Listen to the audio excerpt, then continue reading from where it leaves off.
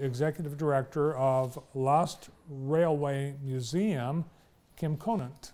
Hi, Kim. Hey, Bart, it's great to be back. Good to see you. Yeah, welcome back. Kim. Thank you. Uh, yeah, brand new. Uh, just started at uh, LRM. I did. I did. I'm really excited. What an, what an amazing place. Yeah, it's one of those. Somebody asked me uh, last week to uh, tell them about a hidden uh, treasure in Jackson County.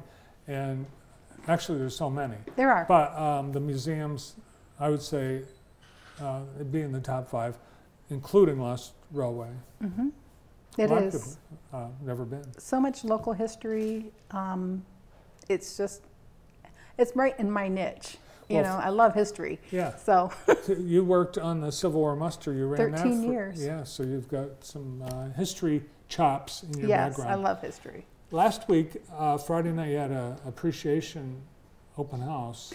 We did. We unveiled our brand new exhibit and we honored our lead volunteer, um, restoration volunteer, Ken Soderbeck. The man is a visionary and has the talent to go along with it. He made the display, set it up, had all the help of our other volunteers. There it is, right there. So that engine, what, what's significant about that engine? It's a motor. It's a 5,000 DC watt motor. It was given to Henry Ford by Westinghouse.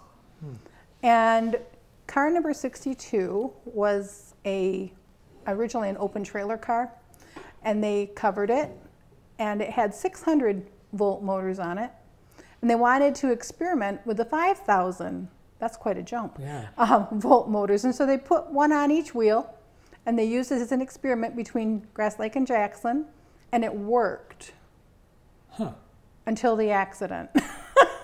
Um, there was an you accident. go too fast? Too, yeah, I believe so. And Oh. so it got, too much horsepower. I think so.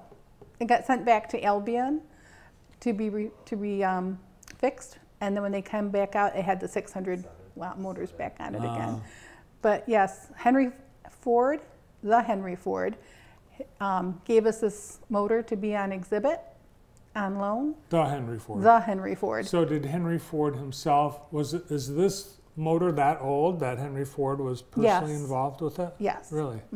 And there were Wow. four of them because there was one on each um, wheel.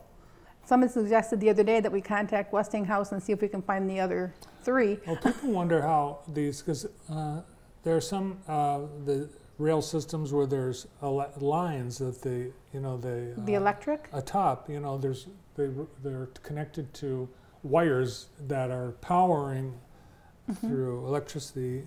Those and motors there's were? nothing in the train motor, but these had Oh, the they had the Urban motors, Had yep. motors. They did. They didn't have lines up above. No, No. they had the motors. Okay. You had nice uh, hors d'oeuvres. Orders, big guy catering did that for us. It was amazing. Great. And of course, motor on loan from the Henry Ford. How is the Lost Railway uh, Museum doing in terms of attendance? You getting Well- people in? Like this summer, were there a lot of people from out of town? COVID did hit us, of course, and and the attendance dropped down to from like 4,800 a year down to 3,500 for the past couple of years. But we're on track right now to get really close to our pre-COVID pandemic days. So we're hoping that we can make that number go. If we may even meet it, we So may even get to 4,800 this year. So you have the Boland Express. There's a Boland Express, which is a virtual reality train ride, and it takes you from Jackson to Grass Lake. Mm-hmm. And of course, JTV helped us with that big time. It's wonderful. We get raving reviews about that train ride.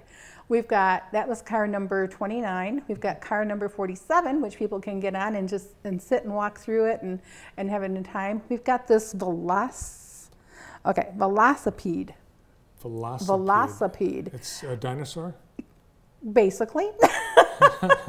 yes. Um, a railroad velocipede was also known as a hand bike. trolley. It's a bike. It's between a bike and a hand trolley Ah. kind of thing. And it's an interactive exhibit we have that kids can hop on and, and Like uh, on the rail, on the rail, they. mhm, you can that? actually sit on it and you pump it. And Oh. the kids love it. We even get some adults on every once in a while. Come out and visit, and we'll see if we can compete.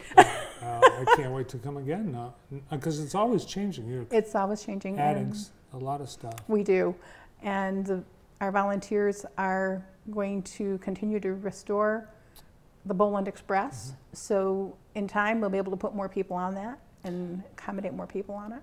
It's amazing uh, because there were no, there really were no uh, decent uh, artifacts of the era Right. until you found them in someone's backyard.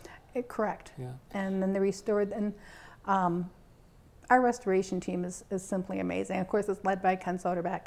Well, it's, And- it's Ken Soderbeck. Yeah, His team. He's just, he's a visionary and he has the, the means and the, and the talent and the know-how and, and the dream and he can vision Mm-hmm. it before he does it and he just does a wonderful job. It's, it's amazing. You, you, I know you consider him a treasure, as you should. We do. All the people really with the start of the Lost Railway Museum, they worked uh, nights and weekends uh, for years, a couple, three years, getting all doing all the work, uh, hand labor of uh, all the uh, everything that's in there. It's amazing work. Well, you know, Phil Willis himself was very instrumental in, in acquiring the train cars and, and he's the heart and soul of, of the museum. It's his, It's uh, a gem of the He is. community, and it's a big attraction downtown Grass Lake. Uh, all the shops and everything get well, Grass Lake is a wonderful place. Uh, it's just a wonderful village.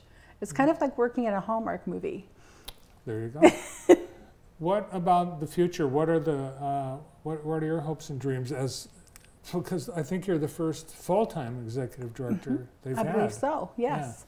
Well, I just started that hope and dream, one of them this morning, talking with um, Tova Sheldon from JISD. Mhm. And we are working and collaborating together to bring more classes out for class Oh, trips that'd be good. and get the kids out there. And she sent me the curriculum, the state curriculum for the social studies for the state of Michigan. And we're going to go through that. I'm going to do that with my um, facilities director, Tom Nolte.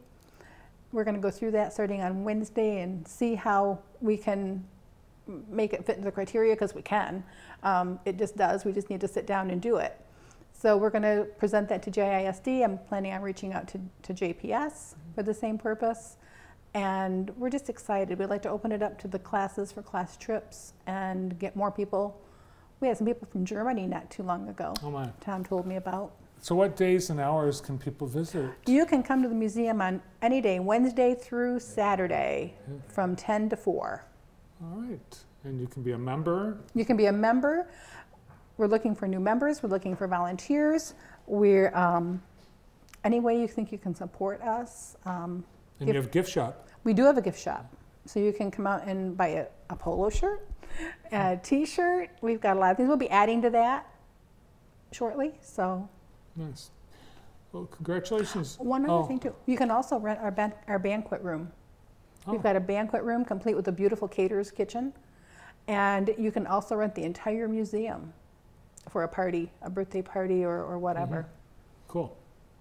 Kim Conant is the person that can uh, get that all set up for you at LRM. Thank you. exactly. Thank you so much. New Executive Director of Lost Railway Museum in Grass Lake, Kim Conant. Uh, we've got more coming up